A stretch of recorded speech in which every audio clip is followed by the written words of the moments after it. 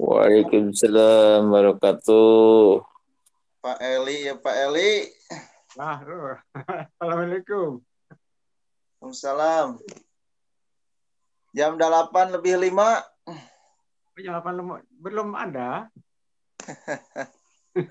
tunggu ya, tunggu. Mangga Kang Nandang kawitan.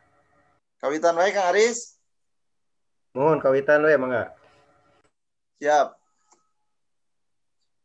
Bismillahirrahmanirrahim. Assalamualaikum warahmatullahi wabarakatuh. Waalaikumsalam wabarakatuh. Wabarakatuh. Alhamdulillahirabbil alamin wassalatu wassalamu ala asrofil anbiya'i wal mursalin wa ala alihi wa sahbihi ajmain. Asyhadu an la ilaha illallah wa asyhadu anna Muhammadan abduhu wa rasuluh la nabiyya ba'dah. Rabbi srahli sadri wa yassirli amri wahlul 'uqdatam min lisani yafqahu qawli amma ba'du. Pertama-tama marilah kita panjatkan dan puji kehadirat Allah Subhanahu wa taala atas nikmat yang telah diberikan kepada kita semua, nikmat iman dan nikmat Islam.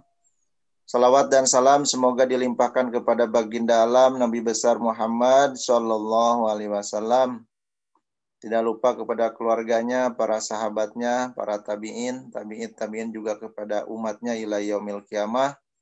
Amin ya Allah ya rabbal alamin. Iwapila rahimakumullah, Alhamdulillah pada malam hari ini kita diberikan kesempatan oleh Allah Subhanahu wa taala bisa silaturahmi walaupun melalui eh, online ya tapi tidak mengurangi eh, tidak mengurangi rasa kita ketaatan kita kepada Allah dan tidak mengurangi eh, kebersamaan kita walaupun melalui online ini mudah-mudahan tetap ini eh, silaturahmi kita tetap terjalin dan mendapatkan pahala di hadapan Allah Subhanahu wa taala. Amin ya Allah ya rabbal alamin. Alhamdulillah pada malam hari ini kita seperti yang sudah tertera dari informasi dari DPD kemarin bahwa malam ini ada acara eh, taskip yang insya Allah acara ini akan eh, materi ini akan disampaikan oleh oleh Ustadz Isa. Namun sebelum kepada acara inti, saya akan menyampaikan eh, acara yang akan dilaksanakan pada malam ini. Yang pertama adalah pembukaan, yang kedua tilawah Al-Quran yang akan disampaikan oleh Kang Jaim. Kang Jaim ada Kang Jaim? Hadir, hadir, hadir, hadir. Ah, kela. Tilawah yang akan disampaikan oleh Kang Jaim. Kemudian materi Ustadz Isa. Dan yang keempatnya acara door prize. Ya, akan uh, ininya door prize-nya dari Back John 5 buah. Wah. 5 buah uh, voucher dari Back John insya Allah akan meramaikan pada malam hari ini. Dan yang merupakan penutup dan doa. Nah, hadirin Ibu Pilah rahimakumullah, marilah kita buka acara pada malam hari ini acara tasbih kita dengan pembacaan Umul Quran wa ala hadiniyah wa likuliniyatin sholihah bi barakati Umul Quran Al-Fatihah. Bismillahirrahmanirrahim. Alhamdulillahi rabbil alamin. Ar-Rahmanir Rahim. صراط الذين أنعمت عليهم غير المغضوب عليهم ولا الضالين Rabbi firli amin Mudah-mudahan dengan pembacaan Al-Fatihah acara kita pada malam ini berjalan dengan baik sesuai dengan apa yang kita harapkan. Selanjutnya, Iwafilah rahimakullah menginjak kepada acara yang kedua yaitu pembacaan ayat Al-Suci Al-Quran atau tilawah yang akan disampaikan oleh Kang Jaim. Mangga Kang Jaim. Assalamualaikum warahmatullahi wabarakatuh. Anda akan membacakan surat As-Saff ya, juz 28. A'udzu billahi minasy syaithanir rajim. Bismillahirrahmanirrahim. Sabbaha lillahi ma fis samawati wa ma fil ardh wa huwal azizul hakim. يا أيها الذين آمنوا لم تقولون ما لا تفعلون؟ كبر مقتا عند الله أن تقولوا ما لا تفعلون.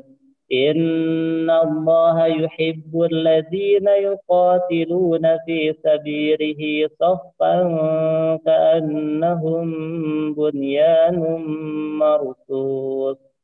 وإذ قال موسى لقومه يا قوم رم تؤذونني وقد تعلمون أني رسول الله إليكم؟ فلما زاغوا أزاغ الله قلوبهم والله لا يهدي القوم الفاسقين. وإذ قال عيسى ابن مريم يا بني إسرائيل إني رسول الله إليكم مصدقا لما بين يدي من التوراة ومبشرا برسول يأتي من بعد اسمه أحمد. فلما جاءهم بالبينات قالوا هذا سحر مبين. ومن أظلم ممن افترى على الله الكذب وهو يدعى إلى الإسلام. والله لا يهدي القوم الظالمين. يريدون ليطفئوا نور الله بأفواههم. والله متم نوره ولو كره الكافرون. هو الذي أرسل رسوله بالهدى ودين الحق ليظهره على الدين كله ولو كره المشركون. يا أيها الذين آمنوا هل أدلكم على تجارة تنجيكم من عذاب أليم؟ تؤمنون بالله ورسوله وتجاهدون في سبيل الله بأموالكم وأنفسكم ذلكم خير لكم إن كنتم تعلمون يغفر لكم ذنوبكم ويدخلكم جنات تجري من تحتها الأنهار جنات تجري من تحتها الأنهار ومساكن طيبة في جنات عدن ذلك الفوز العظيم. وأخرى تحبونها نصر من الله وفتح قريب. وبشر المؤمنين. يا أيها الذين آمنوا كونوا أنصار الله كما قال عيسى بن مريم للحواريين. كما قال عيسى بن مريم للحواريين من أنصاري إلى الله. قال الحواريون نحن أنصار الله فآمن طائفة من بني إسرائيل وكفرت طائفة فأيدنا الذين آمنوا على عدوهم فأصبحوا ظاهرين صدق الله العظيم Assalamualaikum warahmatullahi wabarakatuh. Waalaikumsalam warahmatullahi wabarakatuh. Hatur nuhun Kang Jaim alhamdulillahirabbil alamin. Mudah-mudahan dengan pembacaan ayat suci Al-Qur'an kita semua diberkahkan oleh Allah Subhanahu wa taala. Kita semua juga dijauhkan dari segala balahi terutama wabah yang sedang melanda kita dan negeri kita pada khususnya umumnya dunia Mudah-mudahan barokahnya semua segera diangkat oleh Allah Subhanahu wa taala. Amin. Eh, acara yang ketiga, acara inti eh, materi yang akan disampaikan oleh Ustadz Isa. Halo, Ustadz Isa. Tes, tes. Suara jelas. Silahkan Ustadz Isa. Sip, suaranya optimal ya. Bismillahirrahmanirrahim. Assalamualaikum warahmatullahi wabarakatuh. Alhamdulillah wassalamu ala wal mursalin sayyidina maulana Muhammadin wa ala alihi ila. Amma ba'd. Uh, ayyuhal ikhwan wal akhwat? Apa kabarnya ikhwah dan akhwat semuanya? Alhamdulillah. Kalau bahasa milenial milenialnya adalah hello guys, apa kabarnya guys? Gitu kan? Baik, guys. Oke, semoga kita yang hadir pada kesempatan kali ini eh, senantiasa mendapatkan perlindungan dari Allah Subhanahu wa taala, keberkahan waktu, diberikan kesehatan dan ikhwah akhwat kita yang sedang diuji dengan Covid, dengan penyakit terpapar ya.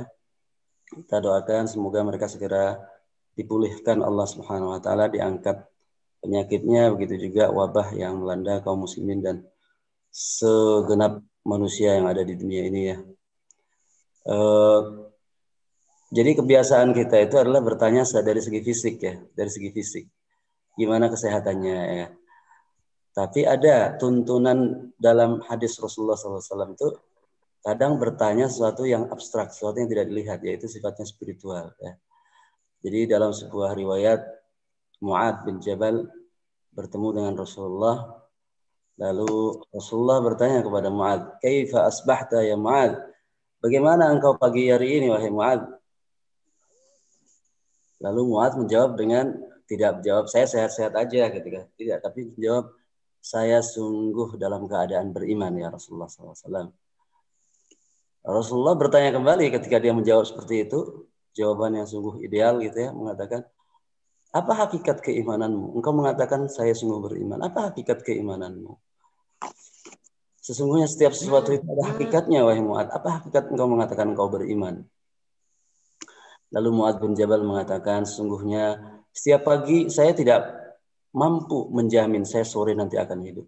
Sore juga demikian saya tidak menjamin saya pagi akan hidup lagi.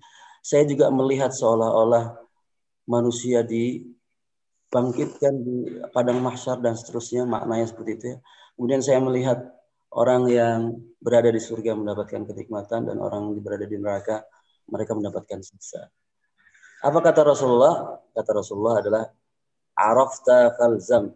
Wahai Mu'ad, engkau tahu hakikat sebenarnya. Hakikat imanmu itu sudah benar. Falzam, maka komitmenlah maka pegang teguhlah. Uh, jadi dalam sebuah hadis pun uh, tanya apa kabar itu kadang juga diartikan uh, yang sifatnya maknawiyah ya. Ini jadi dalil, jadi tidak ada masalah segan atau nggak masalah kita ditanya gimana ibadahnya dan seterusnya gitu ya. Jadi kalau saya bertanya tadi dari segi kesehatan aja lah ya. Oleh karena itu semoga pertemuan kali ini adalah bagian dari fasilitas ya stimulan kita bisa mempertemukan hati, mempertemukan pikiran, cara pandang. Karena dengan keadaan pandemi seperti ini sebenarnya sebisa mungkin kita tidak terpisah secara visi, misi, cita-cita, cara pandang, pemahaman. Karena eh, semakin lama kita tidak jumpa ini bahaya kalau cara pandang kita eh, visi misi kita menjadi lebur juga gitu ya. Nah, dalam hadis juga dikatakan demikian. Oleh karena itu, materi ini saya buka dengan sebuah pantun kali ya. Jadi pantunnya begini, begini guys. Musim hujan, jangan minum es. Biar sehat dan kerja beres. Belajar Islam, jangan bermalas-malas karena sudah difasilitasi sama PKN. Ya, Allah ini adalah wahana dan sarana difasilitasi oleh bawah untuk kita bisa bertukar pikiran. Baik, Ikhwan Aizat. Lama untuk membuka mukadimah. mana ya dengan yang diumumkan kita akan membaca sebuah buku meskipun tidak terlalu tebal sebenarnya setiap kalimat maknanya sangat dalam sehingga insya Allah tidak saya selesaikan dan direncanakan tidak selesai pada pertemuan kali ini diambil beberapa judul insya Allah secara berkala dan secara bergulir nanti kita uh, jadwalkan edisi sekian edisi sekian gitu ya apa judul bukunya? Judul buku ini dikarang ya. Judul bukunya adalah Mada Ya'ni Intima'il Islam. Kalau diartikan adalah apa arti komitmen saya kepada Islam gitu ya. Ditulis oleh seorang penulis dari Libanon, Dai Libanon, Dr. Fathiyakan. Latar belakang kalau saya baca sekilas ya, latar belakang kenapa seorang penulis ini sampai mengangkat permasalahan ini karena ya tidak bisa dipungkiri lagi bahwasanya umat Islam yang jumlahnya banyak satu miliar lebih satu miliar setengah lebih hampir dua miliar adalah seperti yang dikatakan oleh Rasulullah SAW terkena virus terjangkit terpapar virus bukan virus corona ya virus husa ya kan? Virus husa mereka ini tercabik-cabik dari berbagai sisi. Dari segi ekonomi, dari, dari segi berpikirnya, eh, bahkan ketidaktahuan umat Islam itu sendiri tentang hakikat Islam dan ini menjadi sebuah tantangan tersendiri bagi dakwah kan? Kata Kiai Hasan mengatakan sesungguhnya di antara yang akan menjadi batu yang menghalangi kalian itu adalah kebodohan dan ketidaktahuan umat Islam tentang hakikat Islam itu sendiri sehingga mereka bisa jadi adalah menghalang-halangi atau menuduh dan seterusnya ya kan ini hakikat yang atau sebuah fakta yang jelas ya. Kalau kita bertanya mungkin berapa sih satu miliar setengah itu yang sholat berapa?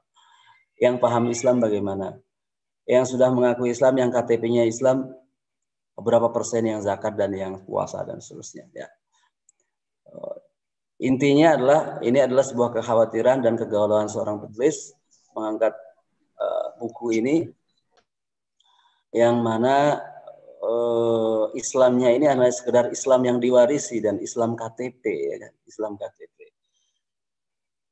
orang yang sudah iltizam komitmen dengan Islam pun apakah sudah berpaham dan memiliki pemahaman secara sempurna komprehensif Islam itu adalah mengatur ini mengatur itu dan seterusnya belum tentu masih banyak masih masih sedikit ya kan masih sangat sedikit oleh karena itu PR umat Islam sangat besar dan inilah latar belakang Mengapa buku ini ditulis? Karena di umat Islam sungguh kalau diungkapkan adalah seperti jauh panggang dari api ya kan, jauh panggang dari api.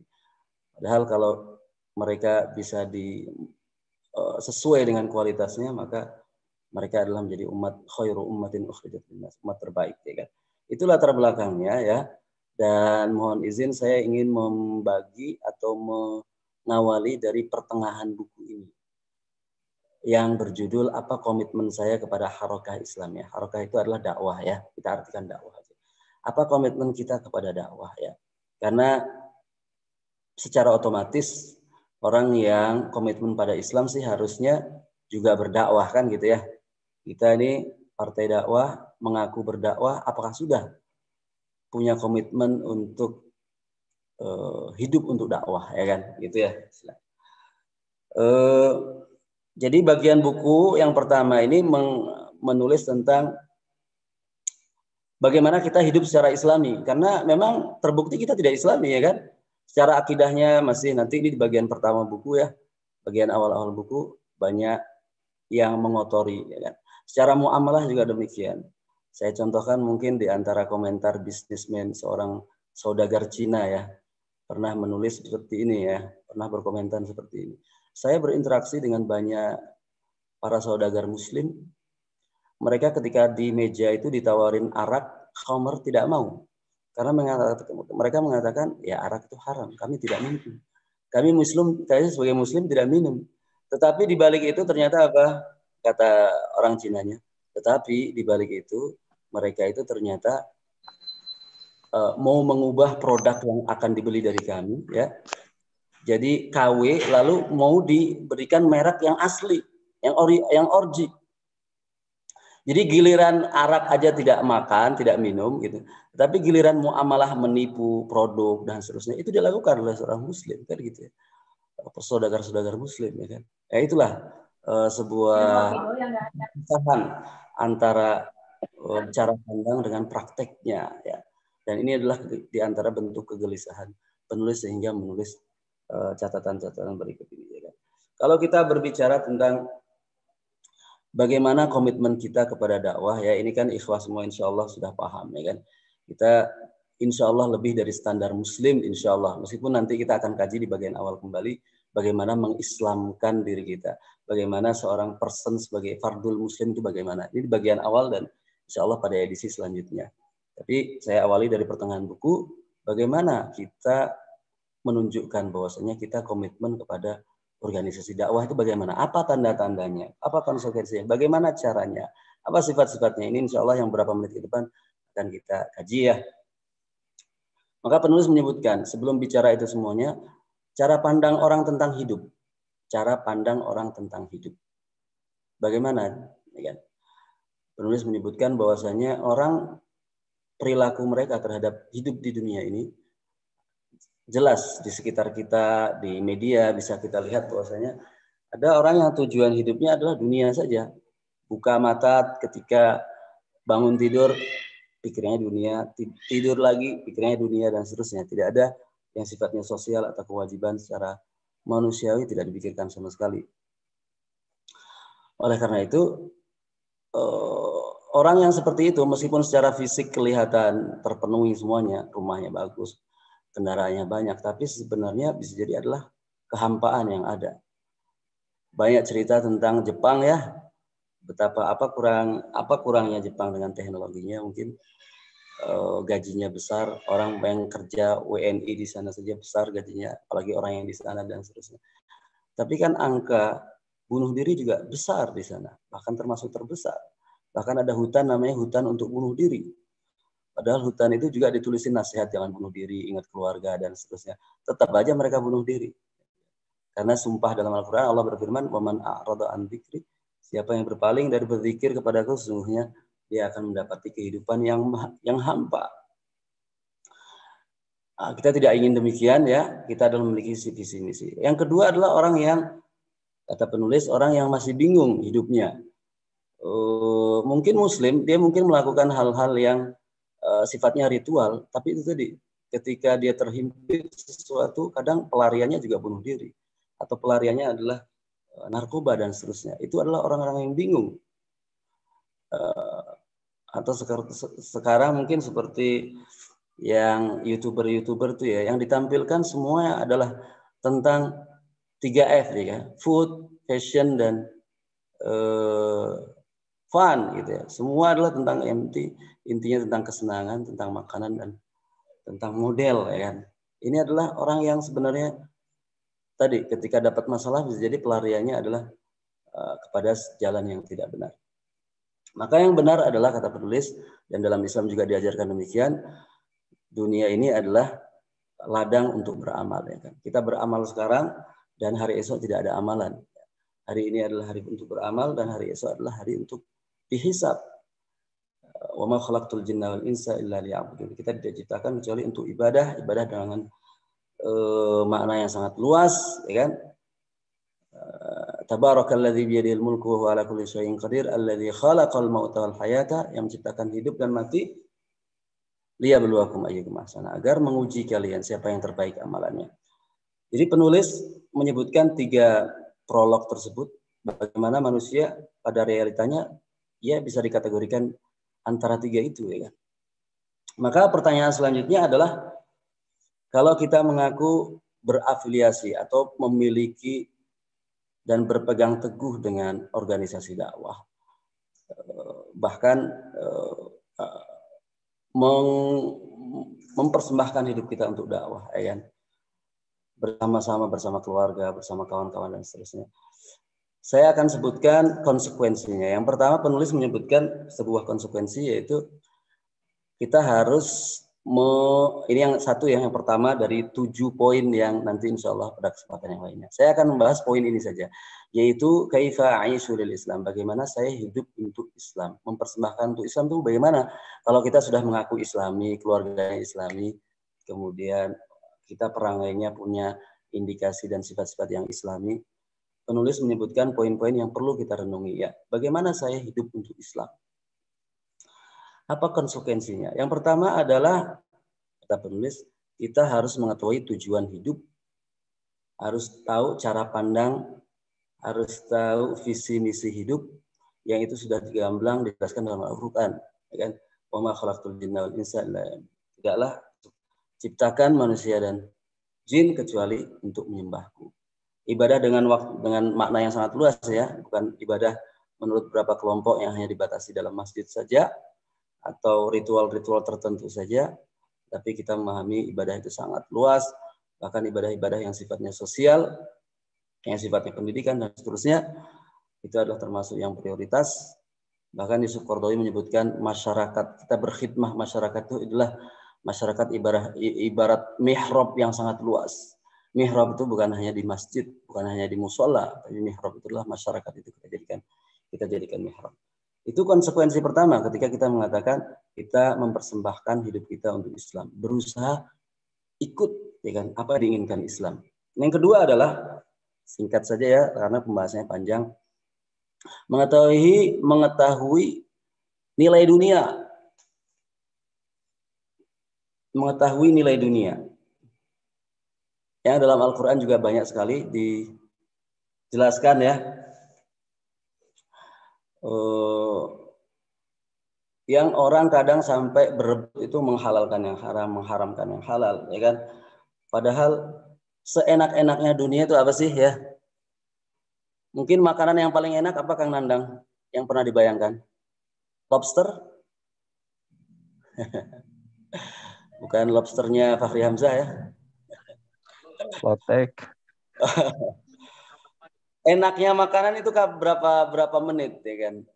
Bukan berapa menit, berapa detik lewat di kerongkongan kita udah udah udah hilang gitu kan rasa nikmat. Itulah hakikatnya dunia. Dalam hadis banyak dijelaskan Rasulullah memperlihatkan lihat-lihat tuh bangkai gitu kan. Itulah dunia ya kan. Lihat tuh kain yang sudah berurai kata Rasulullah. Itulah dunia katanya. Kalaulah dunia dalam hadis lain Rasulullah menyebutkan kalaulah dunia sama dengan satu sayapnya nyamuk itu niscaya orang kafir tidak mendapatkan rizki. Tapi kan orang kafir dapat rizki ya kan.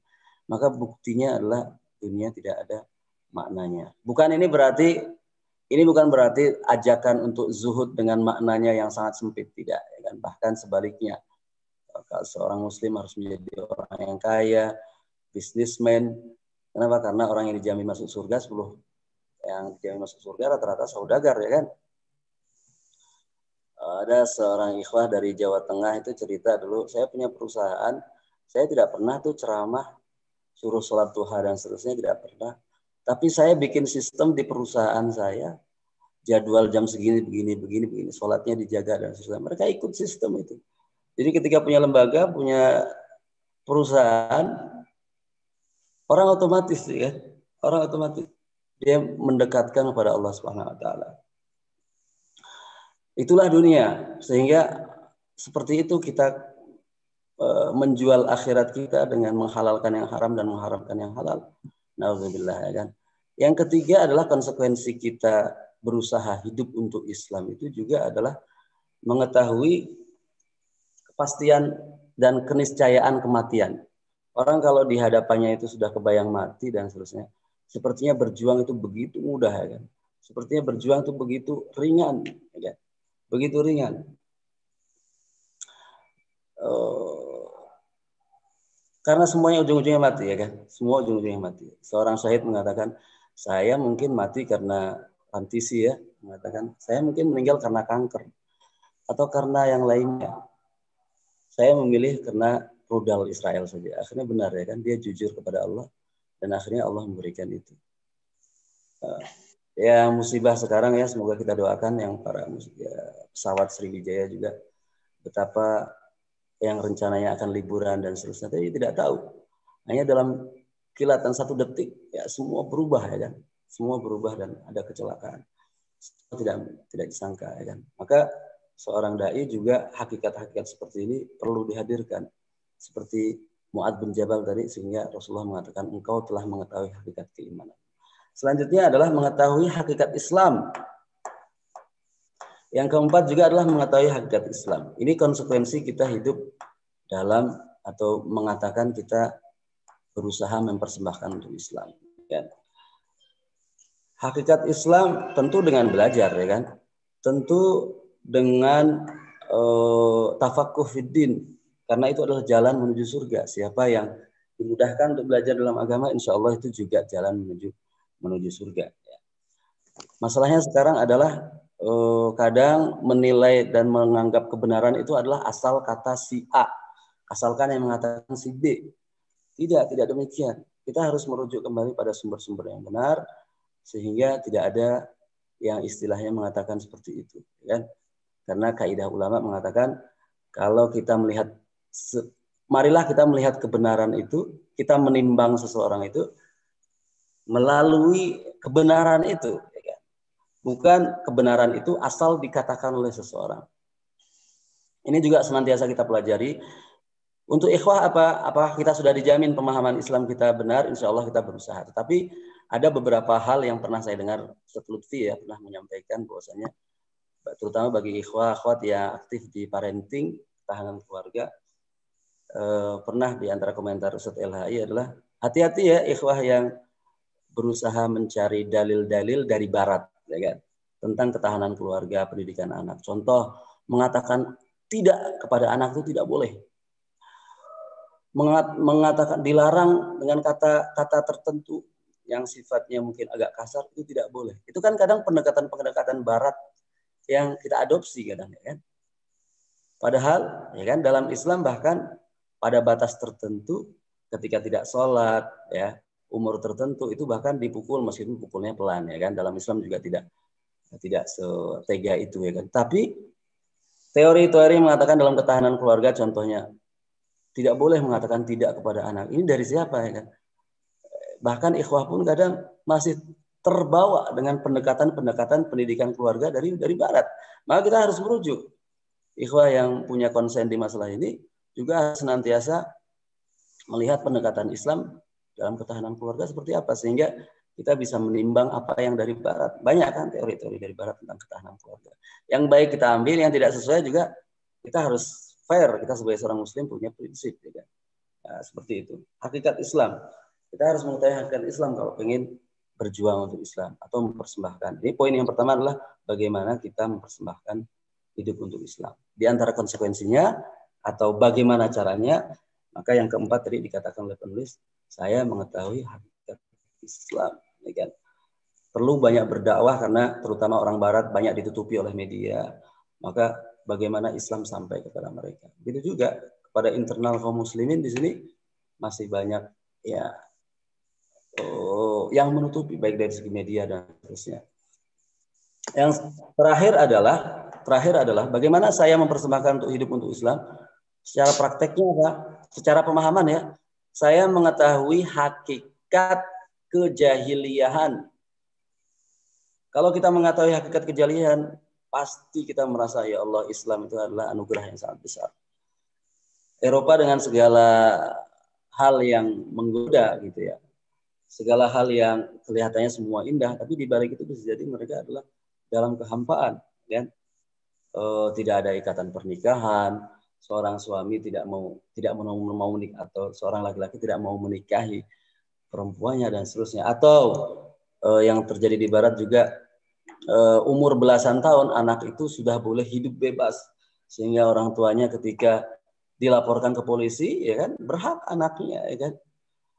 Eh, atau contoh lainnya orang yang sudah tidak perhatian kepada orang tuanya. Sehingga ada kawan yang pernah bercerita ketika datang dari Eropa orang orang tua itu saking sudah tidak diurusi sama anaknya meninggal di flat ya rumah susun itu sampai membusuk ya kan? Itu biasa itu.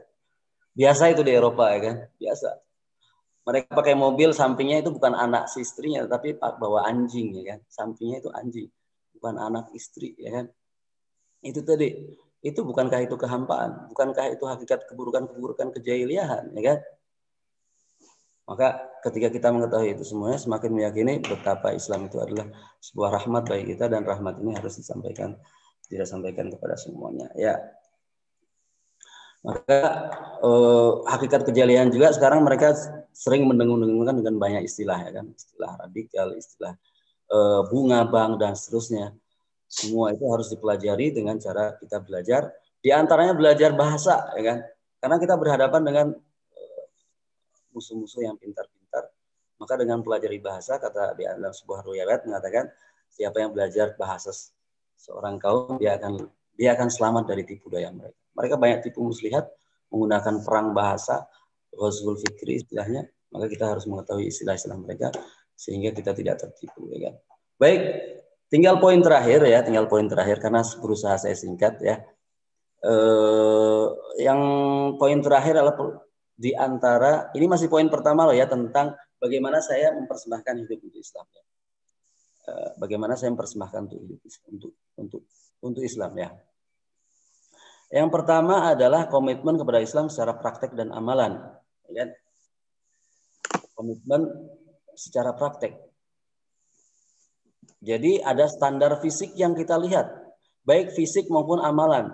Ada orang yang koar-koar berjuang untuk Islam, bersatu untuk Islam. Eh tapi sholat subuh nggak bangun dia. Eh, terlalu jauh ya eh, wacana yang disampaikan. Padahal realitanya engkau aja dipanggil sama Allah aja nggak nggak direspon, ya kan? Contoh mungkin adalah standar secara penampilan. Kalau dikatakan komitmen secara praktek, secara amalan, ya seorang perempuan harus berjilbab tidak boleh mengatakan seorang muslimah yang penting kan hati. Karena bisa jadi orang yang berjilbab itu hatinya lebih busuk. Ya kan? Tidak bisa dikatakan seperti itu. Karena dalam Islam ada standar secara fisik. Ya kan? Ada yang sifatnya wajib seperti jilbab bagi perempuan, ya kan? Karena itu tanda-tanda. Ada yang sifatnya sunnah seperti jenggot bagi laki-laki itu sunnah. Itu juga tanda-tanda dan itu syiar ya kan? Itu syiar. Nah, kecuali kalau dilarang ya, kalau jenggot sampai dilarang ya, ya kita ikut aja ya. Karena hanya sunnah ya kan. Contoh hadis yang berbunyi tanda-tanda orang beriman ya kan. Itu kan ada standar dalam Islam. Dalam hadis Rasulullah mengatakan apa? Jika engkau melihat seorang laki-laki biasa datang ke masjid, maka saksikanlah dia itu orang beriman. Nah, jadi ada tanda-tanda secara di lapangan itu kelihatan. Jadi jangan memaksa seorang muslim jangan memaksa saya ini muslim, saya muslim tapi perilakunya bahkan Eh, bertentangan dengan Islam itu sendiri ya kan? Eh, identitas yang tidak jelas ya kan? Sekarang KTP dipermasalahkan kolom agama dipermasalahkan. Ini mau jadi apa ini kan? Mau jadi apa ini? Kalau kolom agama aja sampai sudah ada kolom agama aja Islam KTP aja sudah seperti ini. Apalagi kalau KTP kolom agama dihilangkan ya kan? Jadi secara praktek sehingga menentukan hukum ketika dia dilahirkan bagaimana, hukum menikahnya nanti pakai apa, hukum dimakamkan dia nanti di ketika jadi mayat jadi apa, semua berkaitan dengan itu. Ketika praktek secara Islami itu harus ada ya kan. Baik. Maka ini juga berlaku ya untuk kita kalau kita jangan memukul rata ke masyarakat secara umum, tapi juga berlaku untuk kita. Kita mengaku partai dakwah ternyata masih korupsi semua ya kan. Kita mengaku menjaga akhlak Islami, menjaga eh, hubungan antar akhwat dan ikhwan ternyata di luar mungkin hubungan begitu cair dengan perempuan lain dan seterusnya. Bisa jadi ya kan? Bisa jadi karena dalam sebuah pertemuan dengan Dewan Syariah Wilayah di antara yang dikeluhkan adalah masalah ini, ya. Kan? masalah keluarga, bahkan istilahnya adalah perselingkuhan. Emang ada perselingkuhan? Ada ya kan? Ya meskipun ya kita kan manusia juga ya kan. Ikhwah kan manusia juga ya. Jangan kaget kalau ada istilah seperti itu. Meskipun 0,000 sekian persen ya kan. Kan gitu ya. Jadi ayat yang berbunyi yang dibacakan oleh Qori tadi kabura maqtan indallahi an taqulu ma la taf'alun ini sangat berlaku untuk seorang dai eh, apa yang kita serukan berusaha kita wujudkan kita praktikkan ya kan Uh, kalau contoh di secara nasional dulu ada berita ya sebuah partai mengatakan uh, penerapan syariah pada uh, butir pertama Pancasila ya kan. Kita saya sebutkan lah ya tokohnya terkenal Partai Islam. Tapi istrinya sendiri tidak berjilbab kan gitu ya. Jadi itulah keanehan-keanehan ketika secara prakteknya di lapangan dia sendiri tidak baik diri sendiri maupun keluarga juga tidak dipraktekkan. Gimana dia berkor-kor untuk penerapan syariah dalam butir-butir eh, undang-undang atau Pancasila, ya kan? Atak murunan nasa bil birri, apakah kalian perintahkan untuk berbuat kebaikan lalu kalian meninggalkan. Sifat orang yang berhidup untuk Islam juga itu adalah yang kedua bahasa Arabnya itu takossi maslahatul Islam, berusaha mencari dan mewujudkan memperjuangkan maslahat Islam itu ada di mana. Hadis-hadis tentang ini banyak ya. Di antaranya adalah hadis siapa yang tidak memperhatikan urusan kaum muslimin maka bukan bagian dari mereka. Dalam sebuah hadis diriwayatkan Aukama sallallahu sebuah perumpamaan kata Rasulullah, engkau itu berada di sebuah perbatasan yang harus engkau jaga kata Rasulullah ya maka jangan sekali-kali engkau itu di perbatasan itu musuh menyerang dari perbatasan dan celah yang yang engkau jaga. Maka di situ orang yang diamanai menjadi alat, orang yang diamanai bergerak di bidang seni budaya, film dan seterusnya. Mereka sebenarnya juga bisa mewujudkan kemaslahatan untuk Islam. Kalau kita mengaku berjuang untuk Islam, maka lembaga kita, aktivitas kita berusaha mencari apa maslahat Islam ya Apakah maslahat Islam ketika ada seorang mengatakan film kartun Nusa dan Rara tidak boleh karena radikal? ini kemaslahatan Islamnya apa ini jangan-jangan merugikan Islam film Islami yang baik seperti itu ditonton oleh jutaan anak-anak kaum muslimin dilarang. Tapi ketika mengatakan game K-pop katanya inspirasi bagi anak muda gitu kan. Ini apa kemaslahatannya untuk Islam? Meskipun iya. Meskipun kita kita jangan pesimis, uh, ada hal yang baik juga di negara ini. Contohnya adalah pernyataan tegas Indonesia ketika mereka menyatakan uh, hubungan bilateral tidak sah dengan Israel. Uh, ini ada yang bagus juga, ya kan? Jadi kita harus akui di saat hari-hari ini banyak negara-negara Islam atau beberapa negara Arab yang naturalisasi atau normalisasi hubungan dengan Israel dan itu sebuah pengkhianatan kepada Islam kepada umat Islam. Mana perasaan mereka kepada saudara-saudara yang Arab sendiri di Palestina, ya kan? Jadi kalau kita mengaku Islam, mengaku memperjuangkan Islam, lembaga kita juga harus apa nih yang bisa dikerjakan untuk Islam. Ya, semoga kita doakan ya para pejabat kita di antaranya Bapak Wali Kota juga yang sudah di antaranya yang sangat mulai akan digulirkan kembali adalah contoh marbot digiat marbot mendapatkan santunan dan seterusnya secara masif ya kan ini maslahat Islam. Di saat beberapa kebijakan beberapa daerah atau pemerintah uh, ya gitulah ya, giliran pemain bola gajinya ratusan juta, giliran artis ratusan juta dan seterusnya. Lalu beralasan eh, tidak ada uang di negara ini, bohong ya, kan? bohong. Itu namanya salah dalam prioritas ya kan. Orang yang mencerdaskan anak bangsa, pendidikan agama dan seterusnya justru dimarginalkan. Mana ini kemaslahatan untuk Islam? Ya? Mana? Ya? maka kita juga harus mencari uh, itu memperjuangkan itu. Kita uh, dengan partner-partner dakwah di Indonesia perlu diingatkan, bukan perlu dimusuhi ya, perlu diingatkan.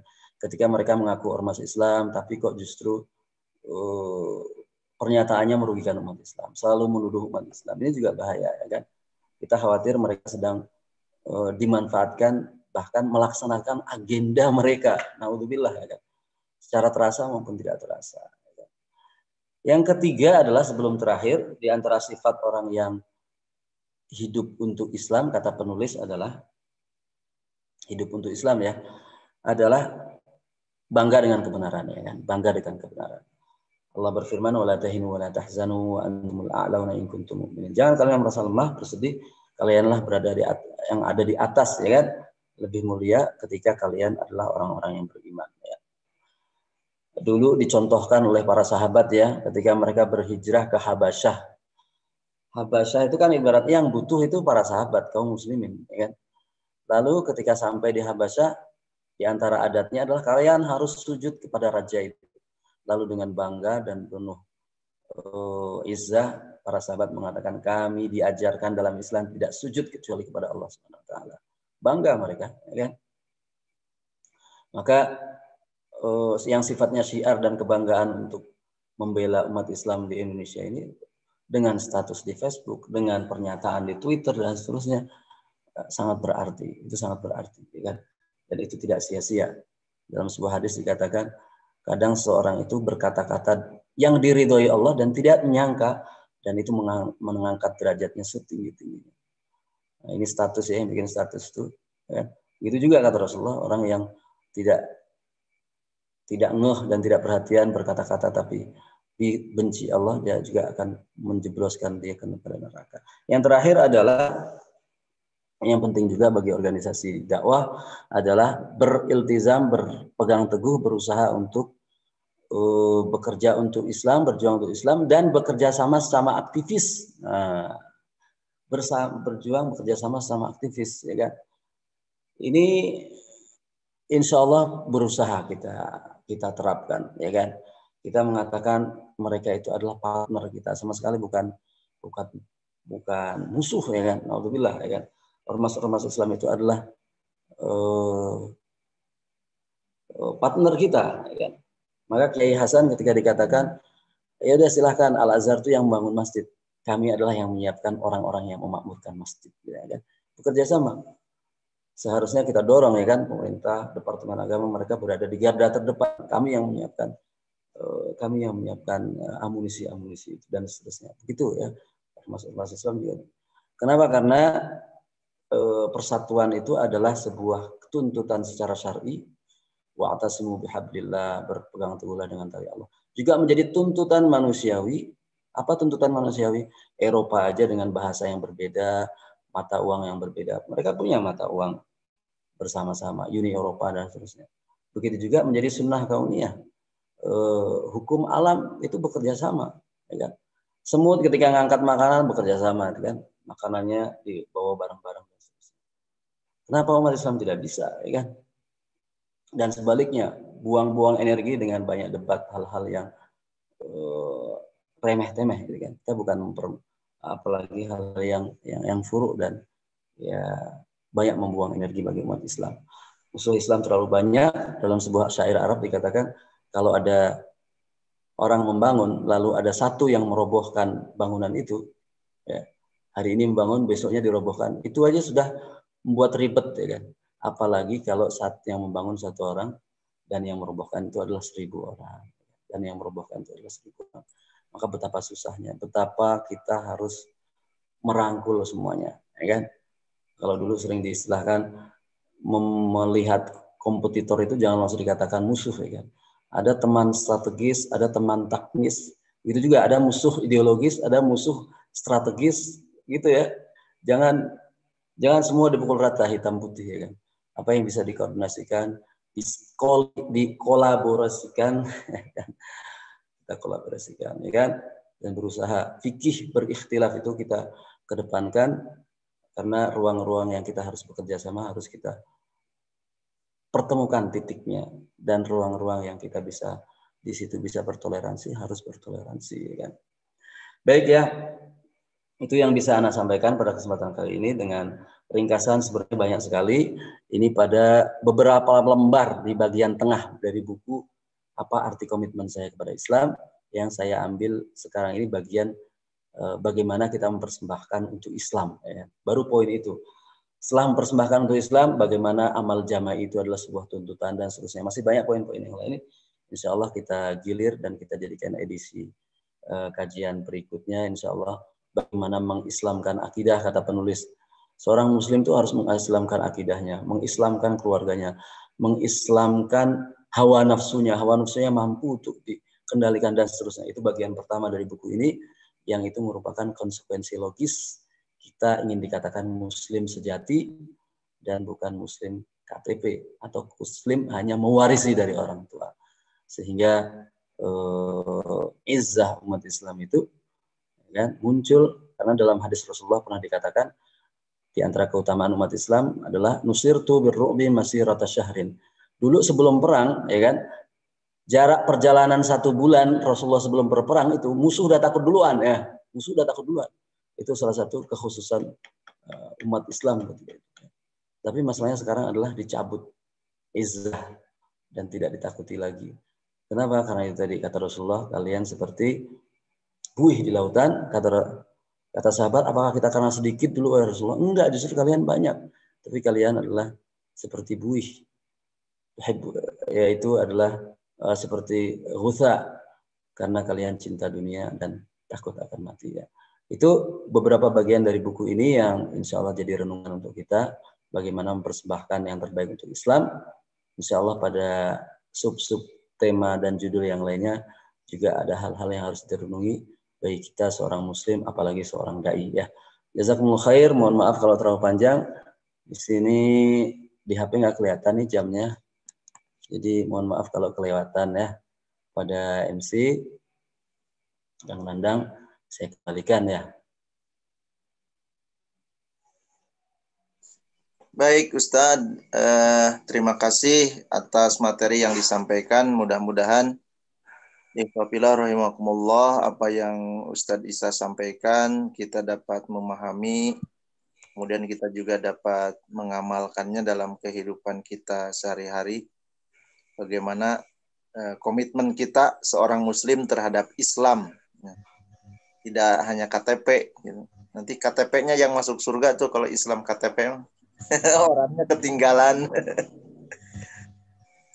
Baik eh Remakullah menginjak kepada acara selanjutnya ini ada door prize dari disponsori oleh Back John Back John 5 buah voucher untuk uh, door prize pada malam hari ini. Saya akan coba, oh diperlihatkan dulu tuh. Iklan dulu, iklan dulu. ya, yang pertama nih door prize ya, yang pertama silahkan nanti dijawab. Tolong dicatat juga nih yang di DPD ya. Anitia, siapa jawaban yang benar? Yang pertama nih siap-siap peserta yang hadir untuk mendapatkan eh, tiket yang pertama. Apa tema dari eh, taskip yang dilaksanakan malam ini? Temanya apa nih? Itu ditulis kalau nggak salah itu ditulis ada. Temanya apa yang pertama? Silakan.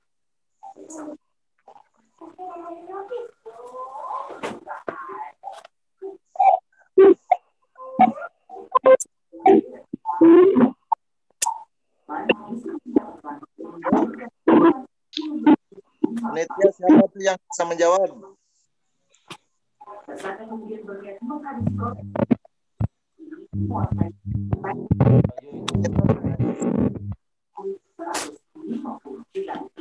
ini itu. Ya, itu di kamar sama di kamar. Nanti itu. Sah itu no ngobrol. Oke, Di chat ada Kang Bayu tuh kayaknya. Kang Bayu ya. Oke, berarti catat Kang Bayu aja. Itu aja nanti yang yang baik eh, yang langsung ataupun yang melalui apa di WA juga nanti di di kan boleh lah. Nanti catat panitia ya. Itu yang pertama sudah ya Kang Bayu ya.